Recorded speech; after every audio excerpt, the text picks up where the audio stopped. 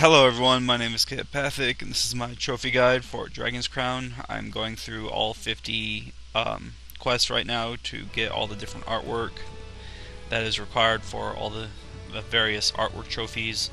The quest I'm going through right now is Rescue the Children. As you see on the quest conditions, at Bilbaron Subterranean Fortress, you need to defeat the Minotaur within 2 minutes. Minotaur being the boss at the end of Route A and Minotaur boss really isn't that hard. Um, his most dangerous abilities is uh, his charge, which is very easy to dodge, and also when he uh, jumps around the room, you can't be under him or near him because you will take a hit.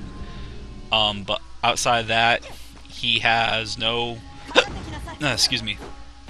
He has no abilities uh, or attacks with uh, arc greater than 180 degrees, so if you can just get on his back and stay there, you can take him down really easily because, good lord, not again.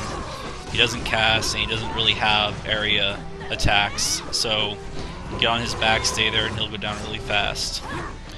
I hope this video helped, So have a good day, and I will see you all later.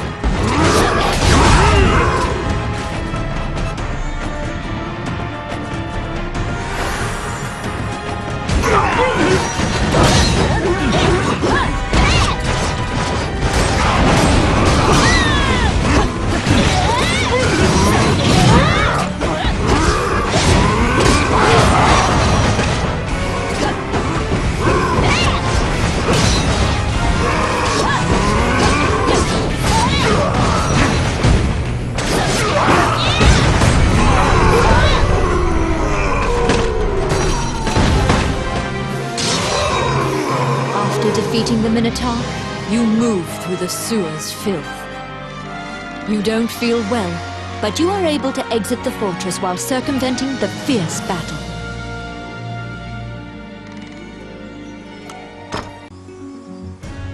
Welcome back.